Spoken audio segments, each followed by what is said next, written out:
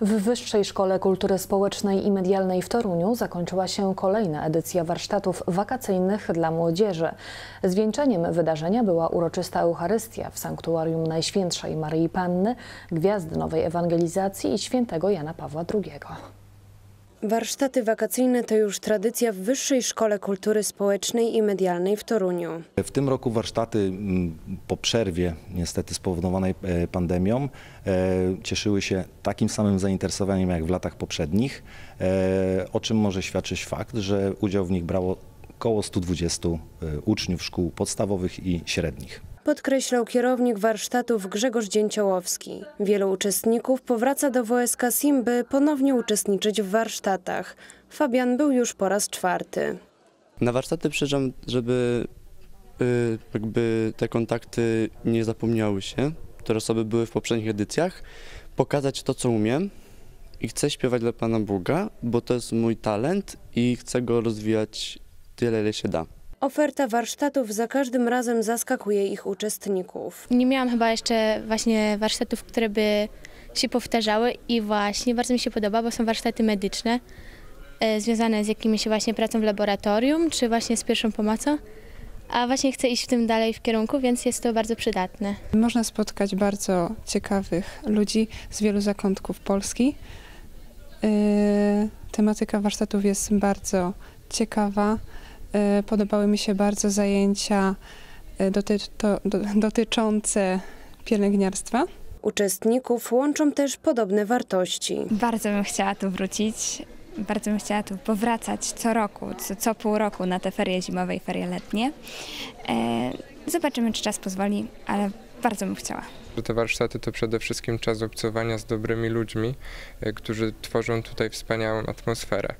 E, Poza tym, po tak długim czasie odosobnienia i izolacji, co nam zafundowała pandemia, to ten czas był jednak czasem spragnienia, e, takiej duszy, spragnienia do tego, żeby jednak spotkać się z ludźmi i coś wspólnie stworzyć. I myślę, że właśnie te warsztaty muzyczne były idealnym czasem do tego, żeby stworzyć coś wspólnie z innymi. Treści przekazywane podczas warsztatów to namiastka tego, czego można się nauczyć zostając studentem WSK SIM.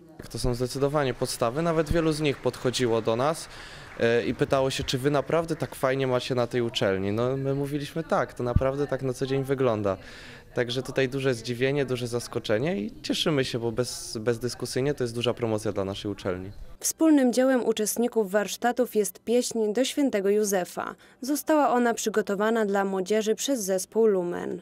Y, Od kilku lat mamy y, różne hasła na rok liturgiczny. Najpierw było napełnieni Duchem Świętym, więc powstała pieśń Napełnieni Duchem Świętym, potem w mocy Bożego Ducha. No i teraz mamy rok Świętego Józefa, więc powstała taka bardzo prosta pieśń GBS Świętego Józefa. Idźcie do Józefa, on wam dopomoże.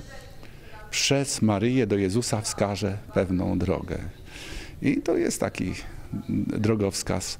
Zwieńczeniem warsztatów wakacyjnych była uroczysta msza święta w Sanktuarium Najświętszej Maryi Panny Gwiazdy Nowej Ewangelizacji i świętego Jana Pawła II, której przewodniczył i słowo do młodzieży skierował ojciec dr Tadeusz Rydzyk. Młodzieży, uważajcie, żeby was nie zwiedli. Po starszych zwodzą. Bądźcie mądrzy. Nie od razu gdzieś słyszycie, powiedzą, nie lećcie za tym. Nieza- Niezależnie od tego, kto powie, sprawdzaj, sprawdzaj, sprawdzaj. Antykościół działa bardzo mocno.